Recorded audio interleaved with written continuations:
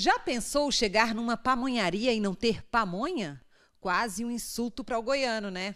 Mas isso pode acontecer, já que a falta de milho é geral. Aqui nessa pamonharia em Anápolis isso já aconteceu. Imagina só, período junino, temperatura mais baixa, um convite para aquela comidinha de milho, né não? O problema é que nessa época eles estão menores, mais caros e às vezes chegam até a faltar. E aí, como é que vai fazer a pamonha? Tem que se rebolar para dar conta, viu? Porque o milho é fraco, né? As palhas muito pequenas, aí a gente vai se rebolando e dá conta de fazer. Foi preciso inovar até no cardápio para não perder o cliente. A gente faz o caldo também do milho, a, do, do, caldo de mandioca, né, com costela. Aí a gente vai inventando mais coisas para poder agradar os, os clientes da gente, né, para eles virem e não tá faltando os produtos, né?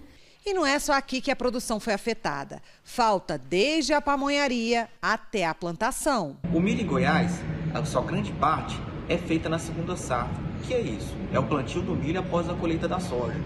E nesse ano, como ocorreu no ano passado, tivemos algumas dificuldades climáticas, levando uma redução no volume desse milho aqui no estado.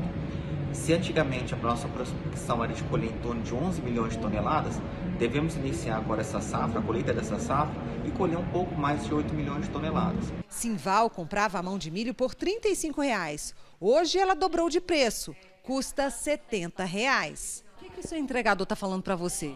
Ele está falando que ele fala para mim que está difícil demais, que vai nas roças comprar o milho, o milho não está assim, tá faltando, sabe? Eles fornece para algum, tem uns que vai compra a roça inteira e não, ele vai para comprar, o outro oferece preço mais alto na roça, ele passa para quem dá o preço mais alto, sabe? Aí por isso está difícil trabalhar.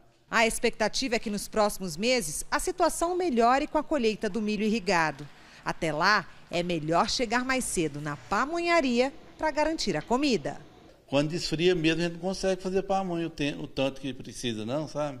Porque quando esfria o tempo, o povo vem gente demais para comprar pamonha e não, não consegue fazer o tanto que precisa.